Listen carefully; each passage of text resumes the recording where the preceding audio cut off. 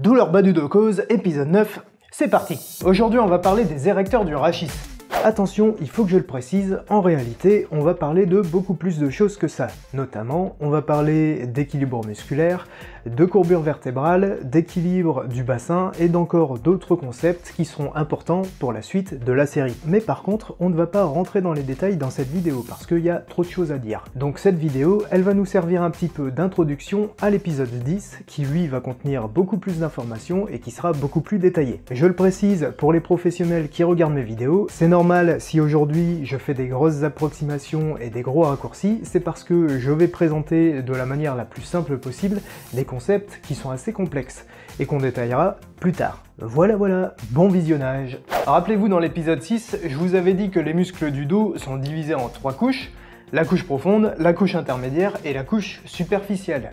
On a fini la couche profonde, donc on attaque la couche intermédiaire qui est principalement euh, composée par les érecteurs du rachis.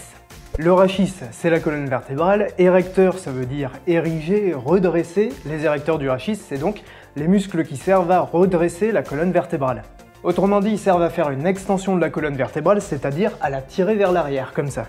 Dans l'épisode 1, je vous avais dit que votre centre de gravité est en avant de la troisième vertèbre lombaire, ce qui fait que votre corps a naturellement tendance à se pencher vers l'avant, à tomber vers l'avant.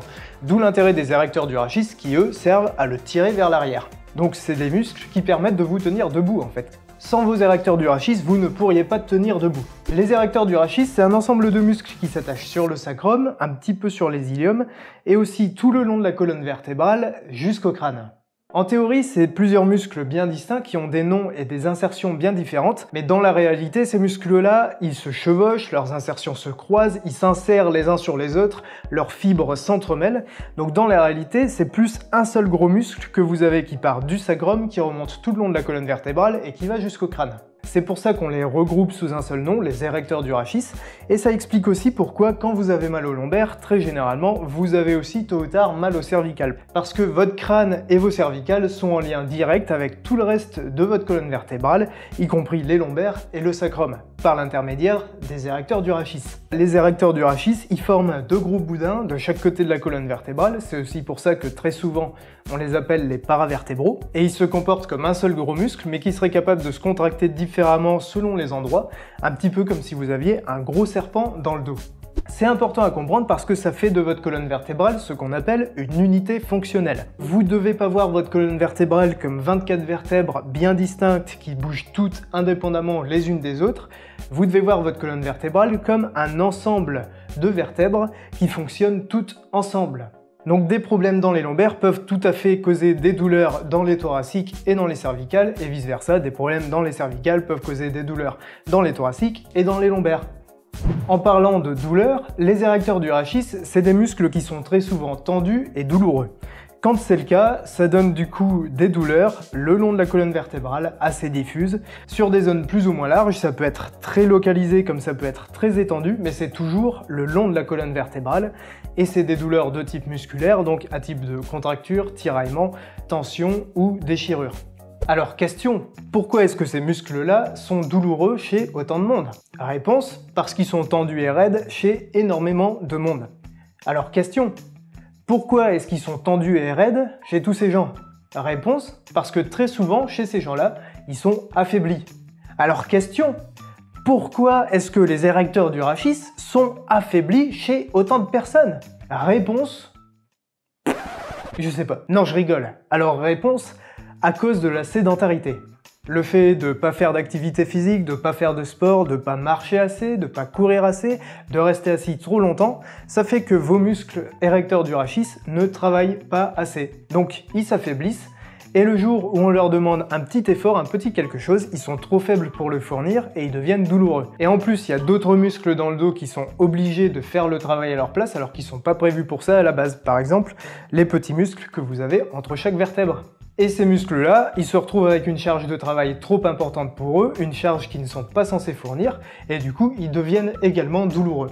Résultat, vous raidissez le dos de peur d'avoir mal, ce qui fait que vous avez d'autres muscles qui se contractent ailleurs sur la colonne vertébrale, ou alors vous avez des vertèbres qui se bloquent, et donc d'autres vertèbres qui doivent bouger plus pour que vous, vous puissiez continuer à bouger correctement, donc des muscles qui doivent faire plus de travail pour faire bouger ces vertèbres plus que d'habitude, et donc qui deviennent également douloureux, bref, ça crée une réaction en chaîne, et donc quand tu arrives au bout de cette réaction, le moindre mouvement de ton dos devient douloureux et pénible et tu te retrouves complètement bloqué et t'as mal partout. Important les érecteurs du rachis quand même. Hein. le plus important c'est vraiment la position assise parce que quand vous êtes assis, vous avez un dossier, donc votre colonne est soutenue. Et en plus, généralement, vous avez le dos voûté, c'est-à-dire que vous avez la colonne vertébrale en flexion. Et les érecteurs du rachis, comme ils permettent d'amener la colonne vertébrale en extension et de la maintenir droite, dans cette position-là, ils ont absolument aucun travail à faire, ils sont au repos complet. Même chose quand vous êtes assis vers l'avant parce que vous regardez un téléphone ou une tablette, votre colonne vertébrale est en flexion, donc les érecteurs du rachis ne travaillent pas, et en plus vous vous soutenez avec vos coudes, donc vraiment dans cette position, zéro effort du dos, mais à force de pas faire d'effort, on s'affaiblit. Alors on pourrait se dire qu'il suffirait de se redresser et de s'asseoir bien droit avec une belle posture, sauf que non, parce que dans cette position-là, vos érecteurs du rachis, cette fois-ci, ils ont trop de travail. C'est plus difficile de se tenir droit quand on est assis que quand on est debout. Et du coup, vous pouvez pas tenir cette position-là très longtemps parce qu'au bout d'un moment, vos muscles fatiguent. Et si vous forcez dessus quand ils sont fatigués, ils deviennent douloureux. Et en plus, ça rajoute de la pression sur les disques intervertébraux, donc c'est aussi mauvais pour les disques. On en reparlera dans d'autres vidéos. Donc la solution, c'est vraiment de rester assis le moins longtemps possible et le moins souvent possible. Et si vous devez rester assis longtemps, on vous conseille de vous lever toutes les heures et de marcher au moins une dizaine de minutes toutes les heures. Mais, excuse-moi, il suffirait juste de remuscler les érecteurs du rachis et plus personne n'aurait mal au dos, non? Eh ben malheureusement non, c'est plus compliqué que ça. C'est plus compliqué parce que si vous remusclez trop vos érecteurs du rachis, eh ben vous allez vous retrouver avec le dos tout le temps tiré vers l'arrière et super cambré. Et ça, c'est pas bon non plus pour le dos. En plus, on pourrait appliquer exactement le même raisonnement à d'autres muscles, par exemple les abdominaux. Dans l'épisode 8, je vous avais expliqué que les abdominaux sont responsables en grande majorité de la stabilisation active, la stabilisation musculaire de votre dos. Et il se trouve que les abdominaux sont aussi affaiblis chez beaucoup de gens, donc on pourrait appliquer exactement le même raisonnement aux abdominaux. Il suffit de remuscler tes abdominaux pour améliorer la stabilité de ta colonne vertébrale et donc ne plus avoir mal au dos. Sauf que les abdominaux, c'est les antagonistes des érecteurs du rachis. Ils font le mouvement exactement opposé. Ils font une flexion de la colonne vertébrale alors que les érecteurs du rachis font une extension. Du coup, comment on fait pour savoir chez vous lequel il faut remuscler? Est-ce que c'est vos érecteurs du rachis qui sont pas assez puissants? Ou vos abdominaux qui sont pas assez puissants, ou vos abdominaux qui sont trop puissants et vos érecteurs pas assez, ou vos érecteurs qui sont trop puissants et vos abdominaux pas assez. Est-ce qu'on remuscle les deux? Est-ce qu'on en remuscle qu'un sur deux? Et à quel moment est-ce qu'on sait qu'ils sont tous les deux remusclés correctement et équilibrés? Et ça devient compliqué, hein. ça c'est la notion d'équilibre musculaire. Vos muscles ne travaillent pas tout seuls, ils travaillent toujours en synergie avec d'autres muscles. Et donc vous pouvez pas remuscler un seul groupe musculaire sans vous occuper des autres parce que ça risque de provoquer des déséquilibres musculaires et donc d'autres problèmes ailleurs. D'ailleurs, c'est notre 19e cause de lombalgie, les déséquilibres musculaires de toutes sortes. Pour que vous puissiez bien comprendre quelle est l'importance d'avoir une musculature équilibrée au niveau du dos et pour que vous puissiez comprendre qu'est-ce que vous allez devoir faire pour rééquilibrer votre musculature si elle a besoin d'être rééquilibrée, il faut que je vous explique la notion de courbure vertébrale. Alors, les courbures vertébrales. Dans l'épisode 3, je vous avais expliqué que vue de dos, une colonne vertébrale normale, elle doit être parfaitement droite et parfaitement verticale. Mais vous avez sans doute remarqué que vue de profil, c'est pas du tout le cas. Vue de profil, elle fait des courbures. Elle fait des courbes. Ces courbures, elles sont tellement importantes qu'on leur a même donné un nom. La courbure formée par les 5 vertèbres lombaires, c'est la lordose lombaire. La courbure formée par les 12 vertèbres thoraciques, les vertèbres au-dessus des lombaires et qui forment la cage thoracique, c'est la syphose thoracique. Et la courbure formée par les 7 vertèbres cervicales, les vertèbres du cou, c'est la lordose cervicale. Ces courbures, si elles sont trop marquées, on parle d'hyperlordose et d'hypersyphose. Par exemple, si vous avez le dos trop cambré au niveau des lombaires, on parle d'hyperlordose lombaire. A l'inverse, si vos courbures ne sont pas assez marquées, on dit que vous avez le dos plat, voire même si c'est très prononcé, on dit que vous avez une inversion de courbure. Un bon exemple d'inversion de courbure, c'est notre ami Sam qui est ici. Si je le décapite euh, gentiment, on voit que au niveau de ses cervicales, au lieu qu'elles soient courbées vers l'arrière, elles sont courbées très légèrement vers l'avant. Il a donc une inversion de sa lordose cervicale. Vous voyez, si on compare avec l'autre modèle de colonne qui lui a des courbures normales, la courbure au niveau des cervicales est totalement différente. Ici, c'est droit, et même devant, c'est un petit peu inversé, tandis que là, c'est bien lordosé. Alors, pourquoi il a une inversion de courbure au niveau des cervicales Lui, c'est parce que au niveau des thoraciques, il a le dos complètement plat. À la caméra, ça se voit pas bien, mais ici, son dos, c'est une ligne droite. Et pourquoi il a le dos plat au niveau des thoraciques? C'est parce qu'au niveau des lombaires, il a une hyperlordose. Vous voyez que les épineuses de ses vertèbres lombaires, elles frottent quasiment les unes sur les autres. Et quand il bouge, ses os se frottent entre eux au niveau des lombaires, tellement ils sont rapprochés et compressés ça doit pas être agréable. Donc lui, lordose lombaire trop prononcée, il rattrape au niveau des thoraciques en ayant le dos plat et du coup, il est obligé de courber un petit peu les cervicales vers l'avant pour pas se balader comme ça complètement tiré en arrière. Vous vous rappelez, hein, colonne vertébrale, unité fonctionnelle, quand ça merde en bas, ça s'adapte ailleurs et finalement ça merde en haut. Donc lui il devait avoir bien mal au dos au niveau de ses lombaires basses et au niveau de ses cervicales moyennes ici. Tiens, je suis sympa, je te rends ta tête. T'as assez souffert comme ça. euh, Alors, pourquoi est-ce que ces courbures elles sont importantes? Parce qu'elles déterminent la répartition de votre poids sur votre colonne vertébrale. Sur une colonne vertébrale normale, on estime que les disques intervertébraux et les corps vertébraux supportent à peu près 75% de votre poids et que les PAP en supportent à peu près 25%. Disques intervertébraux, PAP, si vous vous souvenez plus de ce que c'est, je vous renvoie à l'épisode 2. Donc en bref, sur une colonne vertébrale normale, vous avez 75% de votre poids qui est réparti sur l'avant et 25% qui est réparti sur l'arrière. Le truc c'est que si vos courbures vertébrales changent, la répartition du poids sur votre colonne, elle change. Par exemple, si on réduit vos courbures vertébrales, vous voyez que c'est l'équivalent de faire une flexion de la colonne vertébrale, et vous voyez que les processus articulaires à l'arrière des vertèbres, ils se séparent, ils se décollent les uns des autres. Donc ils ont plus de poids à supporter puisqu'ils sont plus en contact. Mais du coup, tout le poids se retrouve porté sur l'avant de la colonne vertébrale, sur les corps vertébraux et les disques intervertébraux.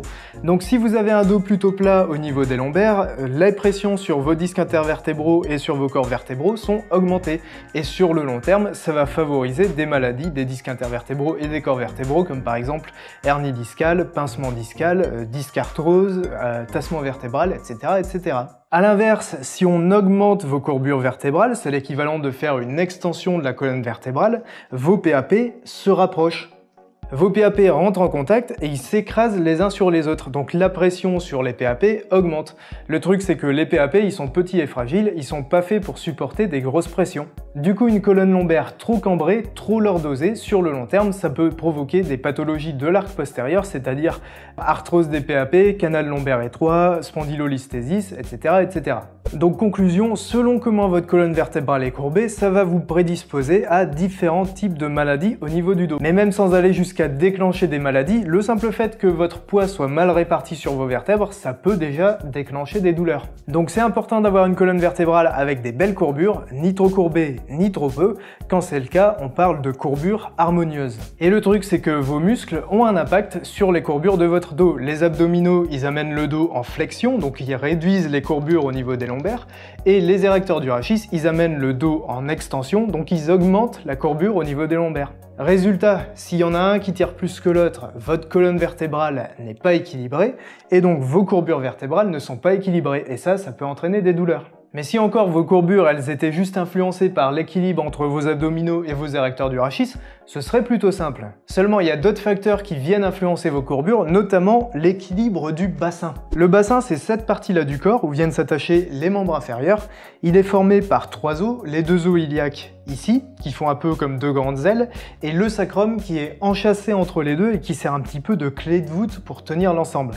Et votre colonne vertébrale, elle pose littéralement dessus. Ce qui fait que quand le bassin bouge, la colonne vertébrale bouge. Votre bassin, il peut effectuer différents types de mouvements. Il peut faire des mouvements sur le côté, des bascules latérales, et là vous voyez que de dos, du coup, la colonne vertébrale se tord. Et il peut aussi faire des bascules antérieures vers l'avant et des bascules postérieures vers l'arrière. Vous voyez que quand il fait une bascule antérieure, la courbure lombaire augmente. Quand il fait une bascule postérieure, la courbure lombaire se réduit. Incroyable, non? Et grâce à quoi il fait ces mouvements, le bassin? Eh bien grâce à des muscles du bassin. Et aussi grâce aux abdominaux qui s'attachent sur les os iliaques et aux érecteurs du rachis qui s'attachent sur le sacrum. Donc les courbures de votre colonne vertébrale, elles sont pas juste influencées par l'équilibre de vos abdominaux et de vos érecteurs du rachis, elles sont aussi influencées par tout un tas de muscles qui sont dans le bassin et qui permettent de faire bouger le bassin. On a donc trois nouvelles causes de lombalgie, ce qui monte le total à 21, les déséquilibres musculaires au niveau des lombaires et du bassin, les défauts de courbure de la colonne vertébrale et les déséquilibres du bassin. Bon, je récapitule pour que les choses soient bien claires pour tout le monde. Votre colonne vertébrale, elle forme des courbures. Si ces courbures sont déséquilibrées, ça provoque des douleurs dans le dos. Votre colonne vertébrale, elle repose aussi sur le bassin. Donc si le bassin est déséquilibré, votre colonne vertébrale est déséquilibrée et ça provoque des douleurs dans le dos. L'équilibre de votre colonne vertébrale et de votre bassin, il est déterminé par les muscles de votre dos, les abdominaux et les muscles du bassin. Donc, si votre colonne vertébrale et votre bassin ne sont pas équilibrés, en renforçant ou en étirant certains muscles, on va pouvoir les rééquilibrer et donc soulager vos douleurs dans le dos. Si jamais c'est toujours pas clair pour vous, vous faites pause, vous revenez en arrière et vous re-regardez les passages un peu difficiles. je sais que c'est pas facile, mais il faut bien comprendre ce mécanisme. Et pour ça, il faut aussi bien comprendre tout ce qu'on avait dit dans les épisodes 1, 2, 3, 6, 7 et 8. Donc vous pouvez aussi les regarder, quand vous maîtriserez ce qu'on avait dit dans ces épisodes-là, vous comprendrez un peu mieux ce qui se passe ici. Donc dans la prochaine vidéo, notre objectif ce sera de vérifier si votre colonne vertébrale a des courbures normales, et si c'est pas le cas, de lui rendre des courbures normales. Voilà, c'est la fin de la vidéo, j'espère que c'était clair. Dans le prochain épisode, on verra un protocole pour rééquilibrer votre colonne vertébrale, et en attendant, rappelez-vous,